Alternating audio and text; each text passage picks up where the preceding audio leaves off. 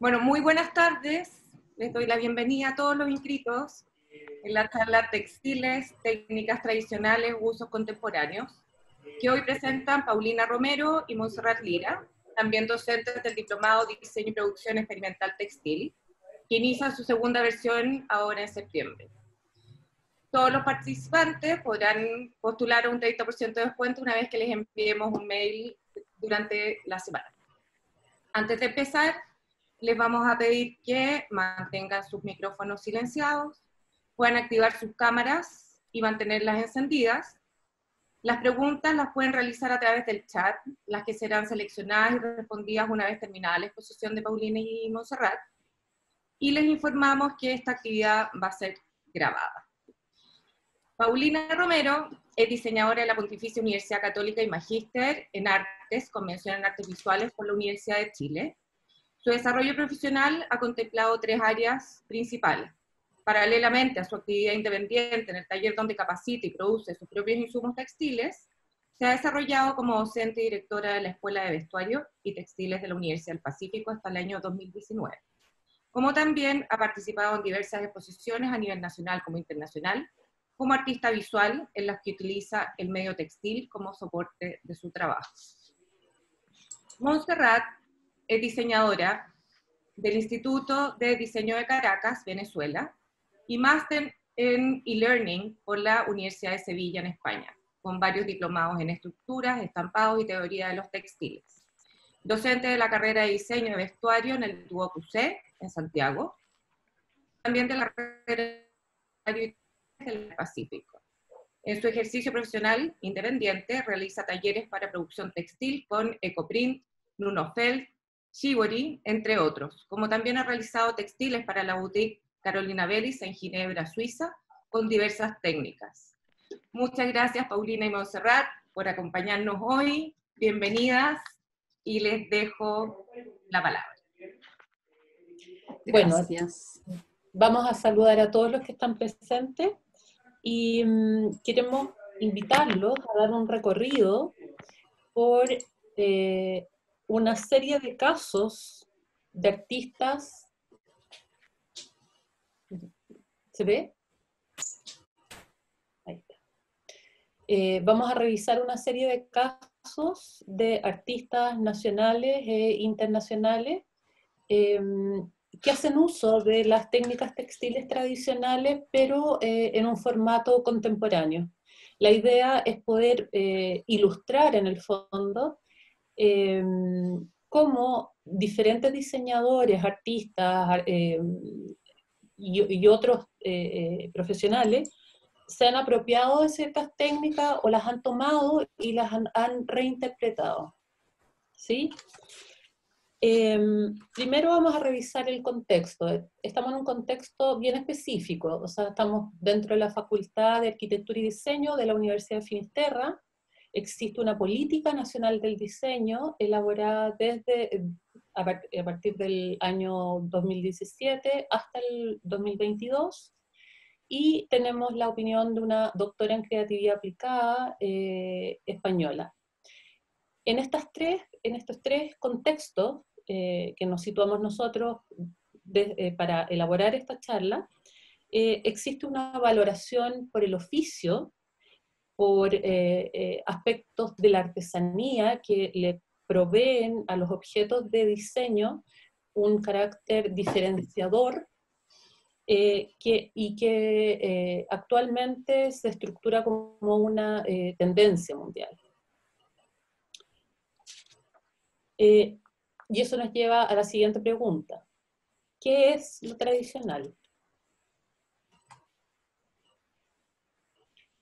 Y eh, aquí vemos que la tradición son saberes, saberes normalmente que son prácticos, eh, y que se han transmitido de generación en generación sin demasiadas variaciones. Eh, son saberes a los que nosotros podemos acceder, pero no existe como un espacio definido, digamos, donde aprenderlo, excepto estando con los artesanos y ejerciendo su práctica. Entonces, ¿cómo establecemos una relación entre lo que es la tradición y lo contemporáneo. Primero que nada, eh, reconociendo el valor de la tradición como elemento que le confiere al objeto, al producto, eh, valores eh, diferenciados. Y por el otro lado, lo contemporáneo es llevar esta tradición, tomar aspectos de ella, que van a depender de cada una de las personas que lo, hagan en el fondo, eh, llevarlos hacia lo contemporáneo, hacia un contexto nuevo, diferente y también personal.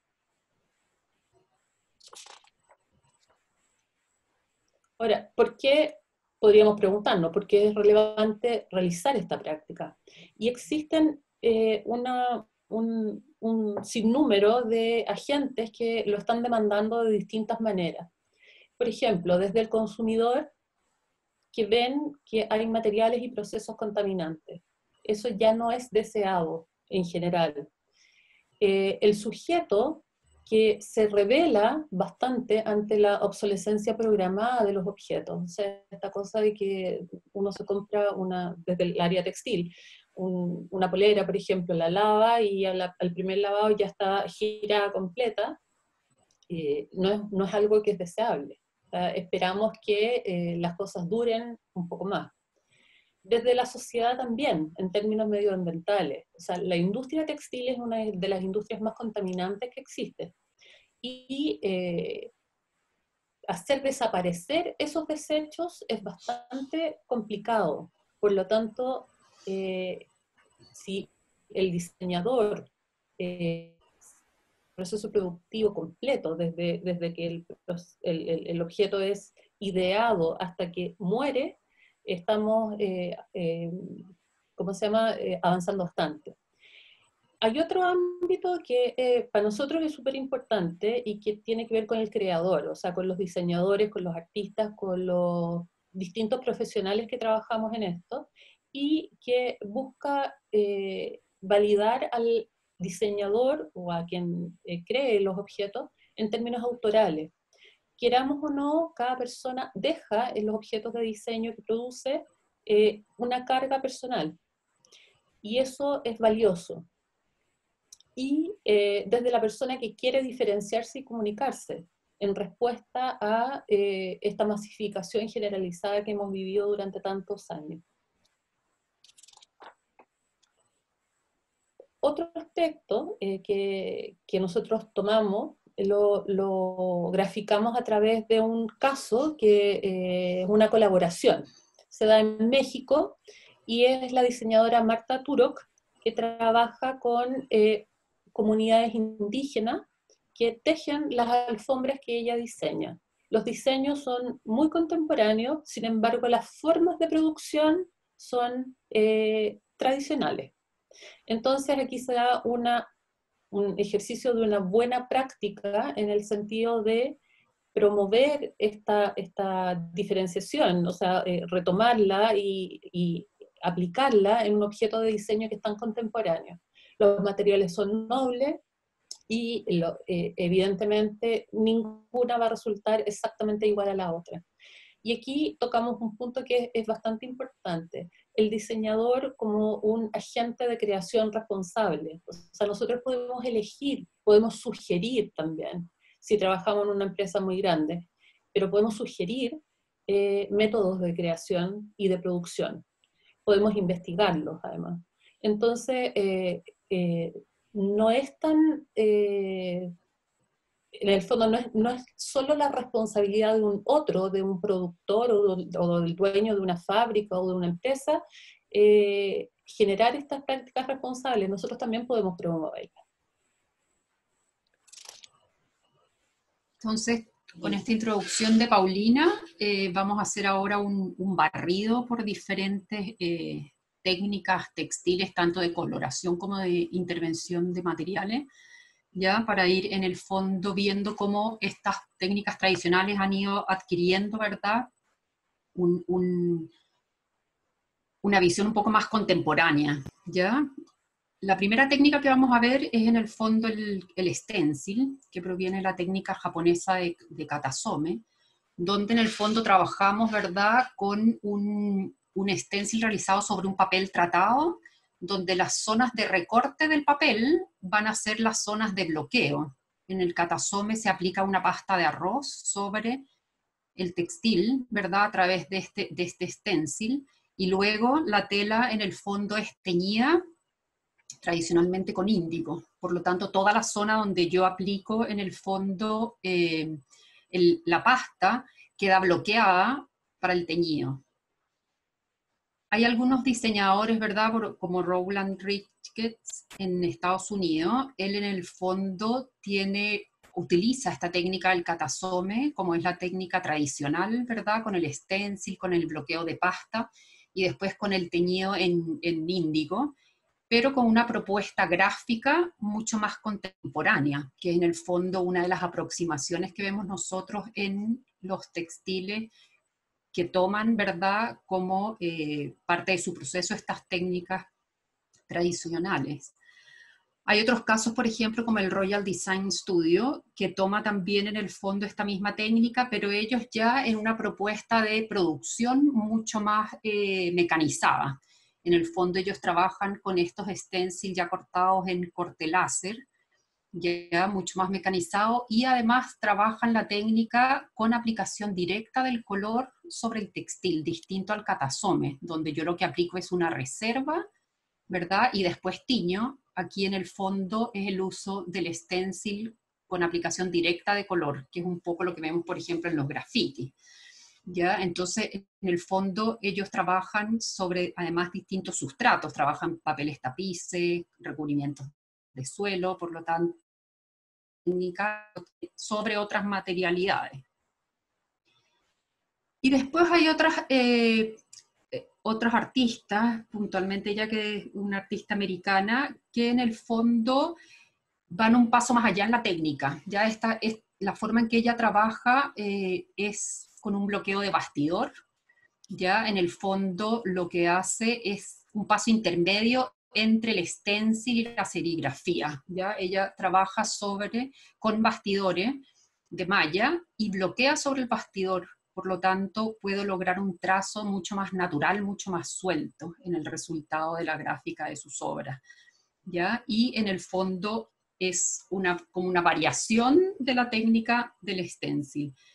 Aquí tenemos otro ejemplo donde en el fondo ella también no trabaja con el método de reserva original del catasome, sino que trabaja con el stencil para poder aplicar pintura directa, lo que le permite en el fondo hacer estos efectos, ¿verdad?, de superposición, de profundidad en el uso de los colores. Por lo tanto, la técnica del stencil es una técnica que nos permite distintas variaciones dentro del proceso de producción de ella.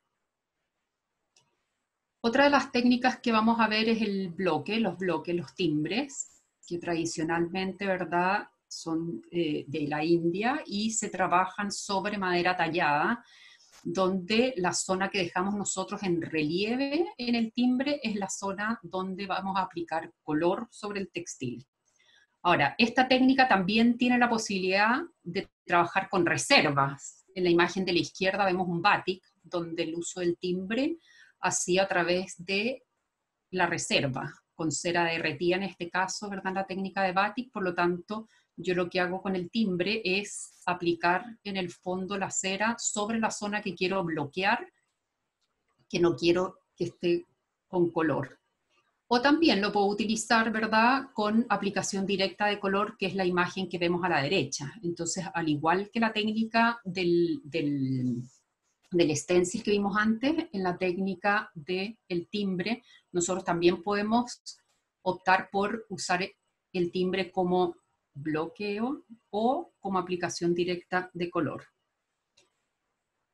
Y vamos a ver varios eh, ejemplos de aplicación de esta técnica. Blockshop es una tienda que está en Los Ángeles, en Estados Unidos, ellas son dos diseñadoras que trabajan con la técnica de, los bloques, tienen una propuesta bastante gráfica, bastante contemporánea en el uso del, diseño, pero lo interesante es que ellas trabajan con los artesanos de Rajasthan, con la técnica clásica, ¿verdad?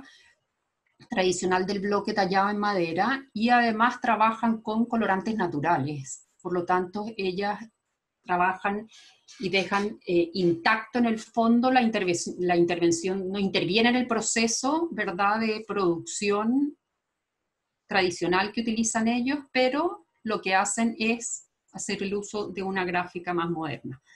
Entonces, es súper interesante aquí como en el fondo queda un poco lo que hablaba Paulina antes, este link entre el diseñador y el artesano, ¿ya? Mientras que hay otras eh, oficinas de, diseñadores, como ellos que están en Filadelfia, en Estados Unidos, que en el fondo lo que hacen es que toman la técnica tradicional, pero la llevan a procesos más mecanizados, más industriales. Y ellos trabajan, por ejemplo, los bloques con corte láser, y cada uno de estos bloques en corte láser después los disponen sobre un acrílico transparente para poder en el fondo ver la ubicación del timbre sobre la base que están estampando, porque trabajan con rapport bastante complejo. ¿ya? Pero ellos en el fondo utilizan pinturas industriales, trabajan con eh, corte láser, como les dije antes, por lo tanto no trabajan con los artesanos. Ellos toman esta técnica tradicional, pero la llevan a una producción en el propio taller de ellos con sus diseños. Trabajan también sobre distintos sustratos, ¿verdad? Sobre textiles, sobre alfombras, sobre papel mural, por lo tanto es interesante ver cómo ellos ocupan esta misma técnica con diferentes pinturas en el fondo para diferentes superficies de trabajo. Después está Blisco. Blisco es una gran empresa eh, holandesa. Ellos trabajan en una producción mucho más industrializada. Ellos en el fondo trabajan con diseño de textiles africanos, Ahora, lo interesante de ellos es que ellos han, eh, en el fondo, mecanizado e industrializado bastante la técnica a través del uso de estos rodillos, ya con sellos. Aquí ya no estamos trabajando con un sello plano, sino que estamos trabajando en un rodillo de impresión continua. Entonces ellos lo que hacen es que aplican, en este caso, con bloqueo de cera sobre el textil la impresión y después tiñen. Entonces es un ejemplo como bien industrializado de la técnica del, timbre.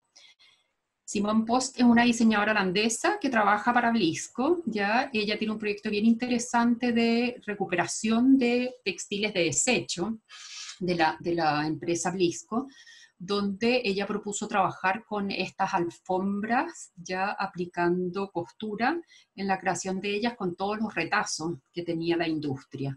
Pero además ella desarrolló en el año 2016 este proyecto bien interesante trabajando con los artesanos en la India, ya un poco como para eh, celebrar toda la época comercial en el siglo XVII y XVIII de Holanda con la India.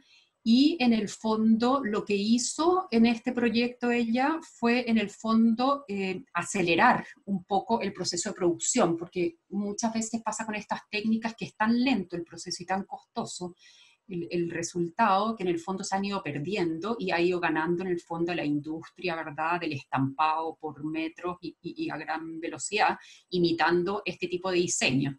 Por lo tanto, ella lo que hizo en este proyecto fue trabajar con los artesanos en que los artesanos hacían de cuatro sellos, uno de los sellos era hecho por los artesanos con la técnica tradicional de tallado y los otros tres eran trabajados con em, impresión 3D, corte láser y en corte CNC. ¿ya? Entonces lo que hace en el fondo es adaptar la técnica del timbre a estas tecnologías, ¿verdad? Para permitir una producción industrial a mayor velocidad. Y después en otra área está Pablo Salvaje, que es un ilustrador español. Él eh, trabaja en ilustración de libros y lo interesante es que él trabaja a través de los sellos, de los timbres, para crear en el fondo el, el, boceto de base del diseño, que después es digitalizado y se lleva a impresión industrial. Y él ha trabajado también, en el año 2008, trabajó con la marca española Desigual, de textiles, de, vestuario, donde creó en el fondo una colección de textiles diseñados previamente con timbres y después nuevamente digitalizados y llevados a impresión industrial. Entonces es bien interesante cómo cada diseñador tiene distintas aproximaciones en el fondo al uso de, las técnicas. Y la última técnica de coloración directa de textiles, antes de darle la palabra nuevamente a Paulina, es la sublimación. Si, bien la sublimación no es una técnica tradicional, de hecho es bastante nueva, ya eh, es interesante todo el, proceso que se puede trabajar, todos los resultados que se pueden trabajar con ella y de las distintas maneras de aplicarla. Ya es una técnica que trabajamos en el, en el, en el diplomado, por eso la queríamos mostrar. En el fondo, eh, este ejemplo aquí de Nuno Core de Japón, en el fondo es un textil, esta técnica es aplicable solamente sobre poliéster, y en el fondo aquí ellos lo que hicieron en este ejemplo es trabajar la tela con la técnica de shibori, con amarras, y después sublimar encima la tela manteniendo esas arrugas que se creaban. Por lo tanto, al, abrir después el textil nos queda este efecto tridimensional de los pliegues y de, las arrugas después del, sublimado. En la sublimación nosotros lo que hacemos es que imprimimos como una tinta especial sobre papel y después eso se plancha sobre el textil y ahí se hace el traspaso de la, tinta. Esto se puede hacer sobre una tela eh, con textura, como lo vimos en el ejemplo anterior, lo podemos ver en una tela, en una prenda, perdón, confeccionada, como lo que trabaja Martín Churba con su marca Tramando en Argentina. Él trabaja muchísimo la sublimación y podemos ver ejemplos, ¿verdad?, como este, donde él trabaja sobre las prendas ya confeccionadas, para, en el fondo, destacar la estructura de las prendas. Si ustedes se fijan, por ejemplo, en este pantalón, llegamos a ver en los bolsillos de la parte de atrás de la prenda que tomaron su forma en el, en el delantero. Entonces, muy interesante el efecto que se crea con la aplicación de la sublimación. Y también puede ser aplicada sobre por metro, como es un digital, nos permite lograr infinidad de colores, de texturas, o sea, todo lo que a uno se le ocurra. Entonces los resultados son sumamente interesantes y industrialmente más económicos que trabajar con las técnicas de, serigrafía, por ejemplo. Después hay otros artistas que trabajan con esta misma técnica, haciendo la impresión de sublimación sobre un textil que después es intervenido, en el caso de ella con bordado después encima, costuras puntadas, ¿ya? Y ahí tenemos el caso aquí en Chile, Arturo Duclos, que hace algunos años también hizo una exposición con el uso de la sublimación. Él trabajó con papeles de sublimación industriales para hacer collage y después fueron impresos sobre textiles de tejidos en, en pero con hilados de distinta composición. Si ustedes se fijan en el detalle, la derecha es como borrosa la imagen. Eso es porque solamente los hilos de poliéster tomaron la sublimación y no el algodón. Por lo tanto, se crea esta como fusión de la sublimación sobre el textil. Y después hay otra serie de intervenciones que les va a contar Paulina. Em, bueno, acabamos de ver una serie de intervenciones de las telas o de modificaciones de las telas a partir de la coloración por distintos métodos. Y nosotros quisimos destacar en este, esta, segunda parte que trata de eh, las modificaciones de las telas, pero por medios más mecánicos. Eh, como primer ejemplo, a Mariano Fortuny, el, considerado el primer diseñador de vestuario de siempre, digamos, em, con su colección Delfos. Él es el primero que propone una modificación en la tela para elaborar una propuesta de diseño. Y él es el primero, además, que propone una, eh, una colección y no toma los encargos de las personas y, desarrolla eh, el, encargo, digamos, sino que es él el que propone por primera vez una, una línea de producto. Esto es súper importante porque hay que situarse en el contexto. En esa época, estamos hablando del 1909, eh, las mujeres usaban corsé, usaban vestidos sumamente eh, estructurados y que eran compresores de la figura humana. Y él, en ese sentido, es muy rupturista. Plantea una silueta mucho más fluida y, por otro lado, una relación entre el objeto textil y el cuerpo mucho más fluida también. Esto, eh, este diseñador es muy relevante ya que sirve de antecedente o de referente para muchos otros diseñadores posteriores, como por ejemplo Issei Miyake, diseñador japonés, y, eh, que retoma técnicas tradicionales japonesas como el Theory, que es el teñido de amarra, y otras más, digamos, eh, para elaborar propuestas de siluetas y de telas muy eh, diferenciadas. A él lo que más le interesa es la relación entre el textil y el cuerpo, y cómo el textil se puede adaptar al cuerpo y no al revés. ¿sí? Esta colección que vemos en el fondo, que se llama Please Please, son solo telas eh, sintéticas plegadas de forma permanente por métodos tradicionales. Entonces, ahí vemos el encuentro entre la tradición y la contemporaneidad. por un lado tenemos esta técnica que es tradicional, se ha hecho por miles de años eh, de la misma manera, pero modificando el material y modificando la relación corporal con la tela, tenemos un resultado que es totalmente distinto. Tiene esta otra colección, y tiene muchas más, digamos, pero quisimos citar eh, esta, que se llama APOC, y es A Piece of Cloth. Uno debería comprar de este rollo rojo que vemos en, la imagen, un trozo de tela y poder cortar las prendas que ahí están señaladas. Y las podemos cortar personalizándolas porque eh, como vemos en la imagen eh, de, la polera amarilla, la podemos dejar con manga larga, la podemos dejar con el cuello alto, o le podemos cortar el cuello, le podemos cortar las mangas, la podemos hacer más corta, etc.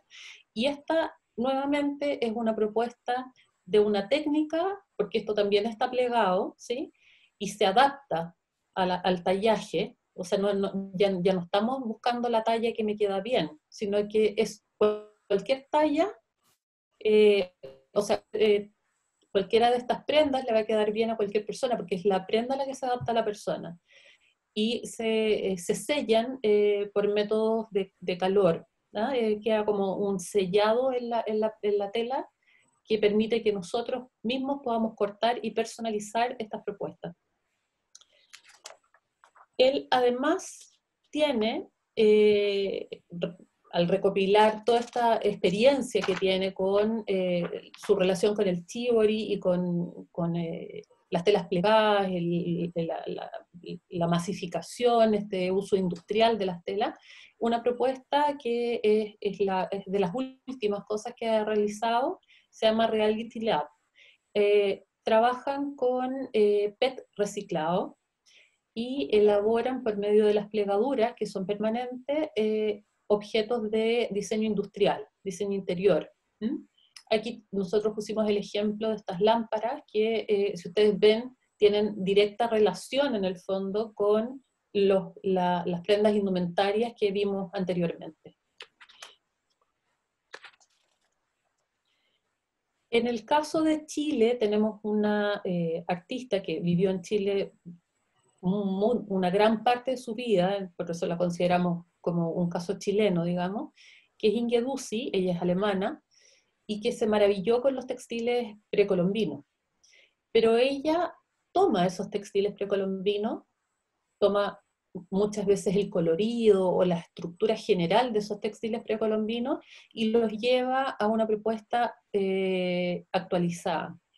Eh, trabaja con eh, telas que son mezclas de seda con metales de repente, Em, y otras cosas, amarras también, linos y, muchas cosas así, pero lo que vemos nosotros es algo que hace, o sea, nos remite a ese referente que es el textil precolombino, sin embargo, es una actualización.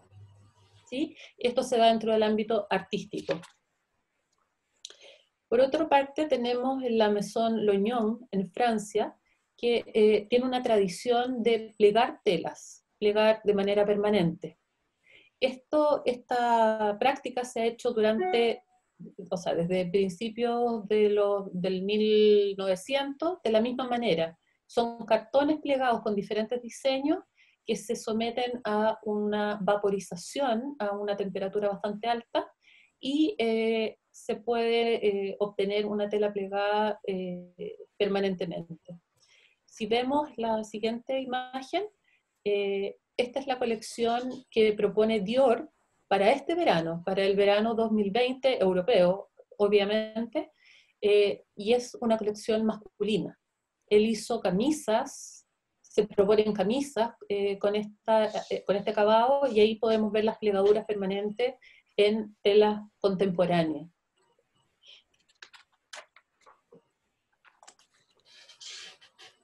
Eh, vamos a tomar otros casos donde eh, trabajamos aquí eh, un poco la costura, la costura y cómo eso puede ser un modificador de las telas también. Tenemos dos casos que son tradicionales. El, por un lado, al lado izquierdo está el boro, que es una técnica japonesa que parte del remiendo, de la lógica del remendar las prendas, ¿sí? entonces, ponen y sobreponen parches sobre los, los, los, eh, no sé, pues, el desgaste de la tela, los huecos que se le puedan formar, las roturas, etc. Y por otro lado tenemos el patchwork, que también toma eh, trozos o pedazos de tela, pero los, los estructura de otra manera. Tienen patrones muy estructurados para eh, combinarlos y son eh, trozos de tela de, normalmente de telas de interior, o sea, eh, vestidos antiguos, telas de sábana que quedaron eh, rotas, paños de cocina, son como todo ese tipo de cosas que se, se, se, trozan y se convierten en un nuevo textil. Estos conocimientos normalmente se pasan de generación en generación.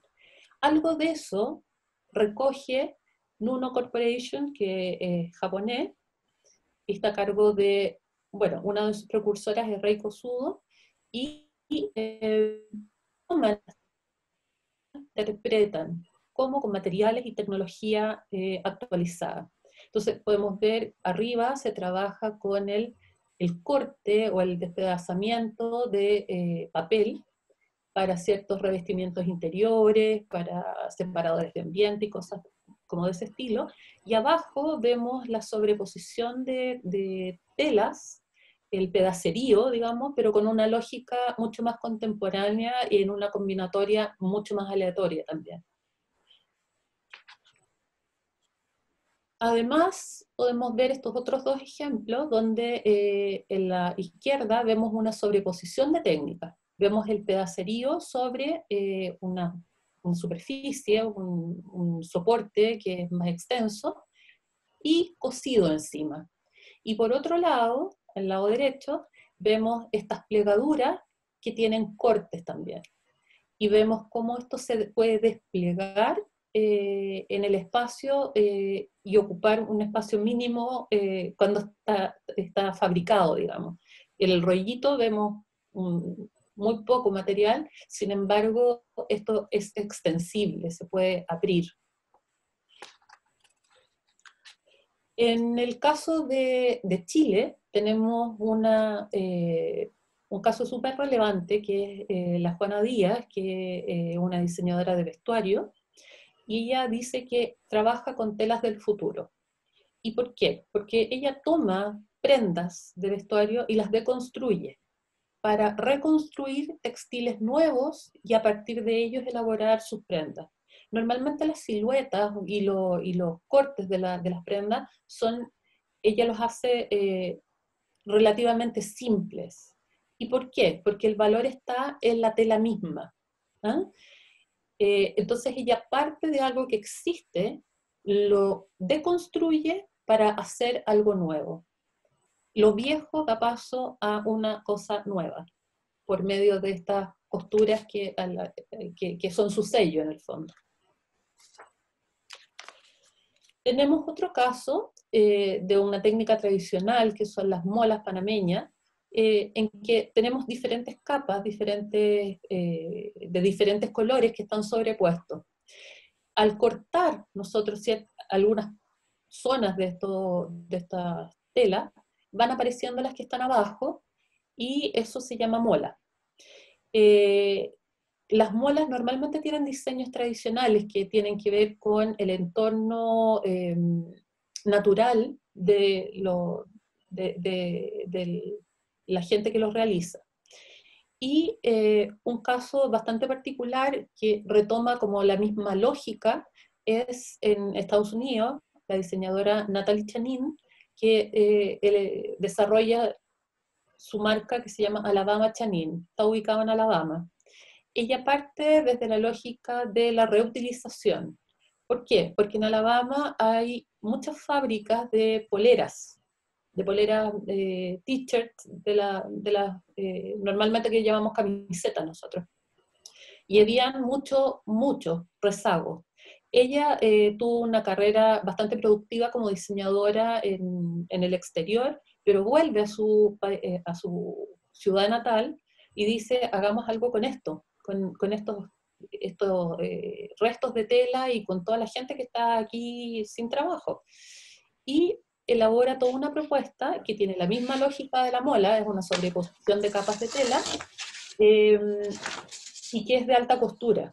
Va desde el vestuario hasta eh, telas de interior, productos terminados. Es muy interesante este caso, si quieren visitar la página web de ella, es, bien entretenida, tiene proyectos que uno puede comprar para hacer uno mismo también, y llega incluso a proponer eh, comida saludable. Todo parte de, eh, de, lo ecosustentable y de esta lógica de la reutilización del material de descarte.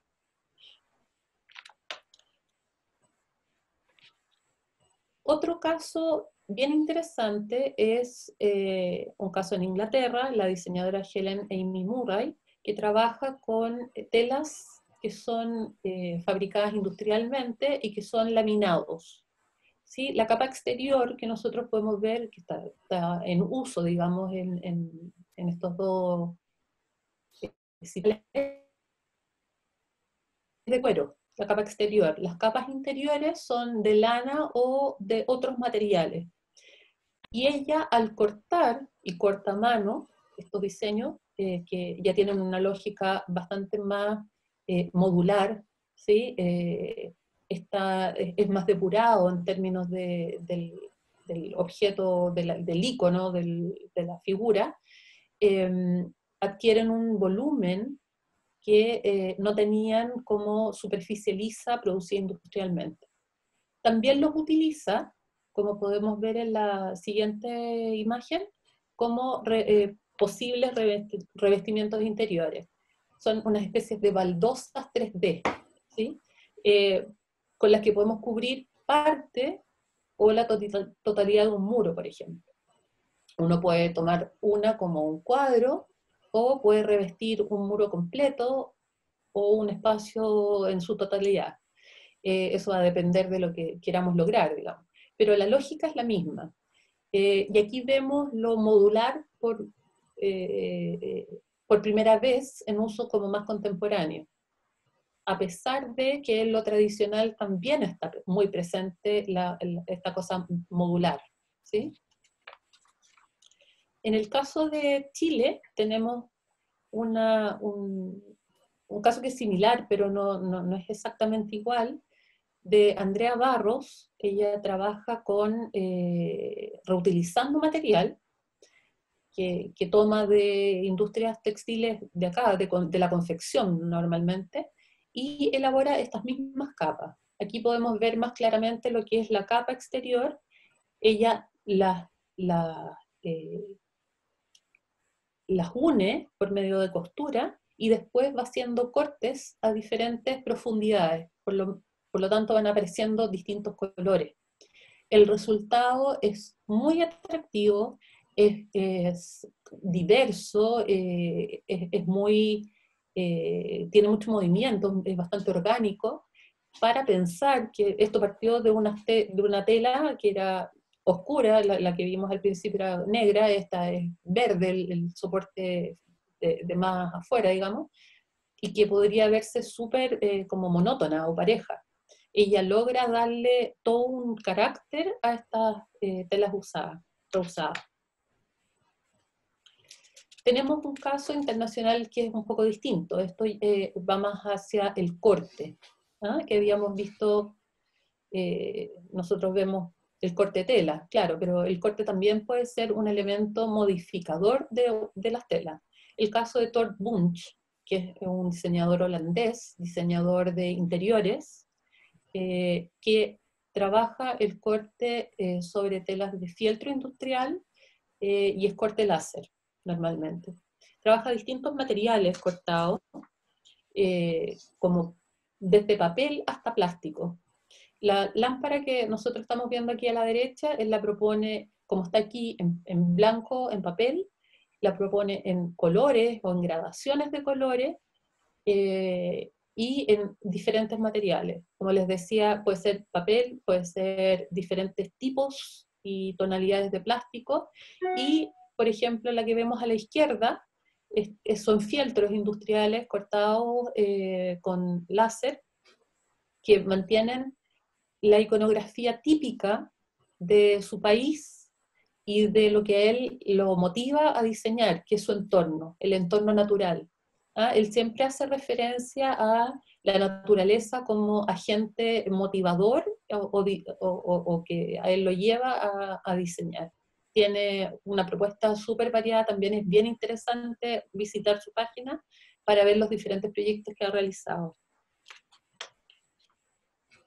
Tenemos por otra parte una contraposición aquí entre una técnica tradicional, si vemos la, imagen de la izquierda, eh, están eh, elaborando un chigori de la manera tradicional y al ver la amarra todavía sobre la tela, vemos una, una tela texturizada. Eso es lo que hace la diseñadora Camila Diedrich, que es sueca, en telas sintéticas más contemporáneas. Ella corta y ocupa esta posibilidad de, eh, darle volumen en forma permanente a las telas. Esa va a tener el mismo comportamiento, o sea, se va a estabilizar nuevamente como estaba. Y pasa lo mismo con estos otros dos casos de ella misma. Eh, vemos la marra tradicional eh, en, esta pantalla lámpara y vemos una propuesta bastante más eh, contemporánea en, la imagen de la derecha, pero la lógica es la misma. El último ejemplo que quisimos poner es una colaboración eh, de, que se llama Gun la, la, la, empresa. ¿sí? Las alfombras afganas normalmente eh, se hacen como nosotros la estamos viendo en la imagen de la izquierda, o sea, con un, con un montaje de, de, urdimbre y nudos. Eh, lo que hace Charlotte Lancelot, que es una diseñadora suiza, es que en colaboración con este, esta mano de obra afgana, eh, utiliza fieltros industriales, los perfora eh, con corte láser y se bordan a mano. Eh, la lógica de esto es que el punto, el punto cruz, pasa a ser un píxel. Y su propuesta completa, eh, ustedes la pueden ver ahí a, mano derecha. Entonces, como podemos ver, en todos estos ejemplos que hemos visto, hemos eh, podido observar, ¿verdad?, diferentes aproximaciones para poder llegar de la técnica tradicional a propuestas más contemporáneas. ¿verdad? Por ejemplo, a través del uso de la técnica con otras sobre otras materialidades y sustratos, que no necesariamente fueron los materiales con que se originó la, la técnica. O, por ejemplo, la reinterpretación de las diferentes técnicas, ¿verdad? A través de otros procesos, a través de otras materialidades.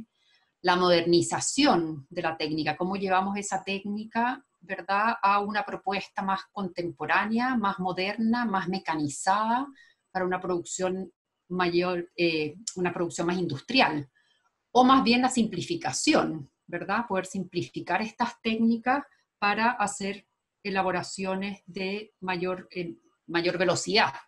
La superposición de ellas también, no necesariamente vamos a trabajar, ¿verdad?, con una sola de ellas, sino que cómo podemos mezclar ¿verdad? Las distintas técnicas para lograr nuevos textiles, en, ya sea en el área del diseño o en el área del arte. La masificación, ¿verdad? Distintas eh, propuestas o distintas tecnologías eh, aplicadas en ellas para poder lograr una producción más masiva y poder llegar a más público.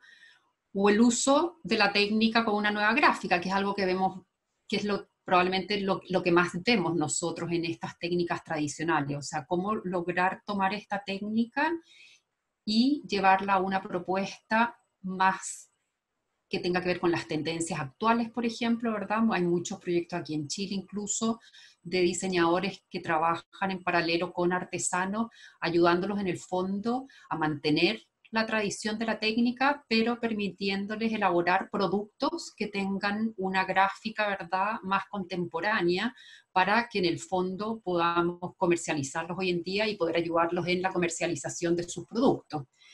Y lo otro es el tema de los errores, ¿verdad? Muchas veces en la aplicación de las técnicas nosotros tomamos ese error como un plus, como un nuevo descubrimiento. Muchas veces en el error aparece una nueva técnica, un nuevo efecto, un nuevo resultado, que en el fondo si lo tomamos podemos elaborar nuevas propuestas en base a esa eh, propuesta que inicialmente era bastante tradicional. ¿ya? Y mostrarles un poco para cerrar eh, lo que fueron las experiencias de trabajo con las alumnas del diplomado del año pasado. Ya hay algunas de ellas que están en el público, así que se van a ver por ahí. Eh, y en el fondo cómo trabajaron ellas distintas técnicas, ¿verdad? De intervención de materiales, utilizando distintas materialidades, distintos procesos de aplicación, logrando en base a la misma técnica efectos totalmente distintos entre cada una de ellas. Lo importante aquí es que las, las alumnas que participaron en el diplomado aprendieron las mismas técnicas, y fuimos descubriendo ciertas características que tenían. lo, importante es que ellas eh, pudieron utilizarlas al servicio de lo que quería cada uno. Un punto que es bien importante, que es el, algo que yo dije al principio, que es el carácter autoral. ¿Ah? Eh, tenemos una, una propuesta metodológica que lo que busca es que cada alumno sea capaz de elaborar su propio trabajo y pueda recurrir a esa misma metodología para seguir desarrollándolo a futuro también. Eh, no solo con estas técnicas, sino que en general, que descubra cuál es su propia forma de hacer, cuáles su son sus áreas de interés o, o, o, eh, gustos eh, específicos.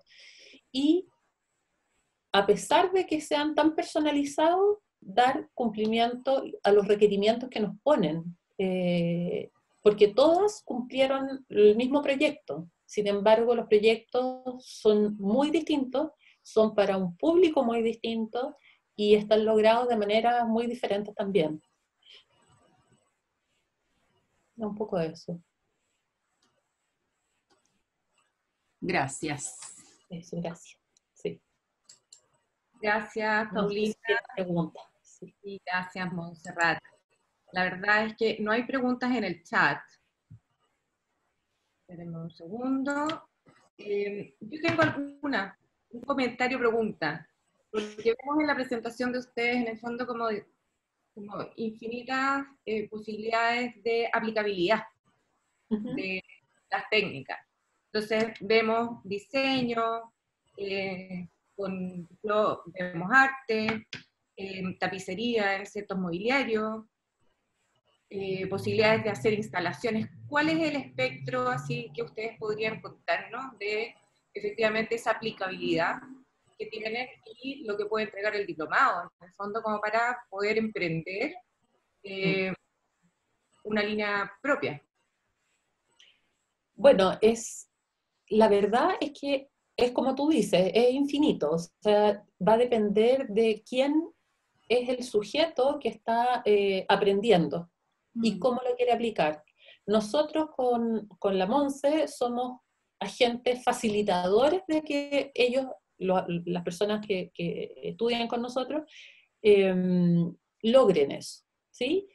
Eh, las, las, aplicaciones son desde eh, cosas domésticas, vestuario, tuvimos propuestas, mm, cosas más artísticas, cosas de interiores, cosas más de diseño industrial también, porque todo esto también se puede aplicar en distintos sustratos. Y esa es la gracia de haberlo hecho así. Y por otro lado, eh, otra virtud que tenía la forma de trabajar es que ocupamos tecnología muy simple, ¿ah? muy poca tecnología. Entonces, eh, hacerlo eh, solo, emprendiendo, como decías tú, es bastante fácil. Ahí se va complejizando, o sea, si alguien quiere, no sé, agrandar la escala, ya estamos hablando de otra cosa, tenemos que buscar otro otros medios productivos, ¿sí? Pero, pero se puede hacer muy fácilmente. Claro, o sea, en el fondo aquí cada una de, las alumnas tomaba el área de expertise que tenía cada una de ellas, ya algunas ya traían algo de, trabajo sobre textiles, otras muy poco, por lo tanto eso fue como súper enriquecedor. Y siempre dejando abierto a la idea de cada una, como decía la Pauli, nosotras como facilitadoras de ir trabajando y guiando en, los procesos, en base a ejercicios experimentales dirigidos, pero después en el proyecto final cada una trabajó distintas áreas, materialidades, algunas con materiales más convencionales, otras con materiales de usos totalmente distintos, ¿verdad? De otras áreas, de limpieza aparecieron algunas. Entonces, en el fondo, eh, fue como bien abierto el trabajo de, cada una. Y eso fue súper enriquecedor para todos también. Yo creo que ese es un, aspecto bien interesante el que toca la Monse, porque eh, partimos trabajando con eh, cosas que todos llevamos, en el fondo llevamos nosotras como profesoras. Sí, trabajamos con mucho reciclaje. Eh, reciclando telas y materiales en general. Y, em, y por otro lado, después las alumnas empezaron a llevar cosas. ¿Ah? cosas que le interesaban a cada una, y eran muy diversas, muy, muy mm. diversas. Empezaron a reconocer los textiles del entorno. Es, bien textiles no es solo lo que uno se pone encima, ¿ah? o lo que usa como, como, en la casa, o la toalla, sino que hay textiles eh, industriales, hay textiles en la cocina, ¿ah? el paño para lavar la, o para limpiar la superficie de, la, no sé, pues de la parte donde uno trabaja en la cocina, eh, las, mismas esponjas de cocina, y hay una variedad infinita de textiles que uno puede reconocer y eh, lograr, en el fondo, darles una expresión personal y propia. Bueno, justamente por eso hemos dicho que probablemente en el fondo este diplomado no necesariamente apunta a un diseñador textil o a un diseñador de vestuario o, o sea, yo soy arquitecto y como les he comentado, encuentro que es increíble, eh, incluso aplicable en, en, los propios proyectos que hace uno, porque uno podría hacer un, no sé, desde la tapicería de, eh, de el mobiliario que uno instala o mm. el recubrimiento muro a modo de, en vez de usar un revestimiento, hacer una especie de instalación. O sea, la verdad es que por eso es súper, es, infinito como el nivel de aplicabilidad. Hay algunas preguntas como ya más específicas respecto más bien del diplomado, así que se las voy a comentar. Ya. Pregunta. Lore eh, me gustaría saber estructura que tiene el diplomado en términos de módulos. ¿La estructura? Eh, sí, de, los módulos, las, las unidades. Mira, trabajamos una primera unidad. a ver, dentro de la primera unidad tenemos eh, dos áreas. Una que es la parte teórica. Hacemos un, un, par de módulos importantes con teoría de los textiles, ya para conocer el material con que vamos a trabajar. Después tenemos el módulo de todo el tema de intervención de materiales, ¿ya? De, como la segunda parte de lo que presentó Paulina, ¿verdad? Con eh, distintas técnicas de intervención, tanto de bordado como técnicas de calor, eh, plegaduras, eh, allí ayúdame Pauli, cortes, por ejemplo. ¿ya? Después tenemos otra unidad que es la parte como de coloración de los textiles, donde trabajamos eh, stencil y, timbres y sublimación. Y después tenemos la última parte, que es la parte del proyecto personal de cada uno. ¿ya? Cada uno de los, de los, de los asistentes, en el fondo, desarrolla toda una propuesta conceptual en base, ¿verdad?, a ciertos referentes, a cierta área que quiera trabajar, puede ser artística, puede ser diseño, o sea, cada uno en el fondo, de forma libre, escoge en qué área quiere desarrollar su proyecto final. ¿Ya? Y esa es la última unidad que, trabajamos. No sé si quieres complementar algo, Paula. Sí, un, un, área como, porque los módulos son exactamente lo que dice la Monse, son, son tres grandes áreas, eh, porque lo que nosotros buscamos es que primero aprendan las técnicas, experimenten, y luego los apliquen como quieren. ¿ah? Y ahí nosotros ya nos convertimos en esto, eh, como decíamos, eh, facilitadores, ayudantes en el fondo, vamos sugiriendo cosas. Pero una cosa súper importante es la metodología de trabajo, que está presente desde el primer minuto. Y en, en, esa metodología lo que nosotros buscamos es descubrir estos intereses personales, ¿sí? estas formas de hacer que son eh, particulares, que le confieren ciertos valores. Entonces, es como, es como mirarse un poquito uno eh, y aprender de eso que a mí me gusta y que yo no sabía por qué me gustaba, eh, qué características tiene, cómo yo lo vuelco o lo expreso en términos eh, eh, ya materiales y darle como, un, como más consistencia a esa parte. ¿ah? Tener un, cierto discurso elaborar un prediscurso, digamos para poder seguir adelante elaborándolo en el tiempo. Eh, eso eh, es súper valioso porque está presente en el proyecto. O sea, todo el material que nosotros vamos desarrollando de análisis de referentes eh, durante la, la, unidad que hace la MONSE y la unidad que hago yo, es útil y nos sirve para desarrollar el proyecto después. Muchas veces es el antecedente del proyecto personal, digamos.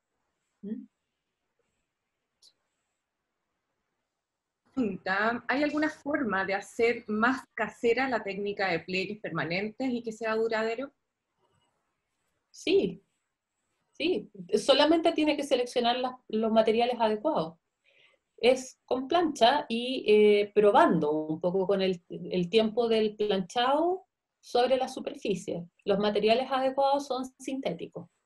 Porque si ella plancha un algodón, ¿no es cierto?, lo va a mojar y se le va a desarmar. Pero si ella plancha eh, una tela sintética, que hay miles y de, miles, de, la Monse es el, experta en eso, eh, de sobre poliéster. Claro, eh, en el fondo va a obtener una, plegadura permanente. Sí, hay formas. hay que trabajarlo sobre poliéster. La, la Sofía debería saber reconocer el poliéster. A ver, Sergio Toro dice, hola todas, muchísimas gracias por la charla, muy interesante, son unas genias. Yo trato de transmitir en el lenguaje que aparece. Eh, mi pregunta es, ¿cada año se ven los mismos temas? Y la pregunta a continuación, si siguiera este año un poco el tema de las cuarentenas y lo presencial se complicara, por Zoom se podría editar sin dificultad bueno, bueno, el año pasado tuvimos el, también contingencia. Tuvimos un octubre difícil. sí. Sí, eh, bueno, sí, los contenidos, bueno, esta es la segunda versión del, diplomado, ya por lo tanto los contenidos van a ser los mismos que, que la primera versión, probablemente a futuro podrían ir cambiando, ya. Eh, y bueno, tendríamos que adecuarnos a las nuevas tecnologías. El, ideal de, esta, de este diplomado obviamente es hacerlo presencial, pero bueno, si tuviéramos que, hay ciertos módulos que se pueden hacer eh, vía Zoom si tuviéramos que en el fondo alargarnos eh, en otras fechas, ¿verdad? O cambiar modalidad presencial por algunas clases en Zoom si es que siguiera la cuarentena. Por eso en el fondo hemos ido tirando un poco el diplomado más hacia octubre. Inicialmente partíamos en agosto y ahora partimos en octubre, precisamente para podernos dar más tiempo en que todo esto se, se estabilice. Sí, hay cierta, hay, digamos, esa pregunta un poco apunta, me apunta a mí también. Un poco lo que dice Paulina y Monserrat, eh, efectivamente partíamos antes y hemos estado postergando un poco el inicio. Lo más probable es que partamos en octubre con el fin de garantizar un poco la seguridad de todos. Respecto de los contenidos, efectivamente es la versión o edición 2 del diplomado, pero ya estamos empezando a trabajar en una segunda versión eh, del diplomado con, más avanzado. Sí, con otros temas en el fondo, sí. Que eh, lo que hemos conversado con Francisca es que una versión no debiera ser excluyente de la otra, sino que complementaria. Eh, ¿Y qué es lo que pasa con lo presencial? Eh, contestándole a Sergio, ¿era la pregunta? Sí. Em, lo que pasa en este, en este diplomado en particular es que hay algunas cosas que sí podemos hacer que no sean presenciales, pero como es tan experimental, es necesario que, lo, que, que en el fondo que todos como que veamos qué es lo que va pasando mm. con las cosas. ¿Te fijas? Entonces eh, es, es importante la retroalimentación entre, entre pares, digamos, y con eh, el profesor también. Porque al hacer un mismo ejercicio o una misma acción sobre materiales diferentes, pasan cosas distintas. Mm. Y eso eh, es interesante verlo en conjunto. ¿Sí? Entonces, por eso que lamentablemente, para nosotros esto de la, de la pandemia y del coronavirus ha sido difícil, es, bien difícil porque no es un, no es un eh, diplomado teórico, ¿ah? eh, es más bien eh, práctico. Bueno, justamente por eso el diplomado está pensado para un grupo pequeño y justamente la fortaleza que tiene es el nivel de personalización que existe entre el profesor, docente y el que quien lo tome para poder justamente tener una relación bastante más asistida y llevar a cabo ese producto que tenemos conmigo, que es mm. eh, lograr una línea, en el fondo, como de producción propia. No tenemos más preguntas, porque la verdad es que muchas son respecto al diplomado y cómo nos escribió ahí la Sole. Nos pueden escribir directamente uh, pidiendo en el fondo toda la información. Está en el chat, el contacto. Bueno, muchísimas gracias a todos, muchísimas gracias, Paulina. Gracias. Gracias. Pasaron. Eh, nuevamente agradecida por la más inspiradora del mundo, hasta mí. Súper bien. Así que gracias a todos los que participaron y nos vemos en una próxima. Gracias a todos por escucharnos.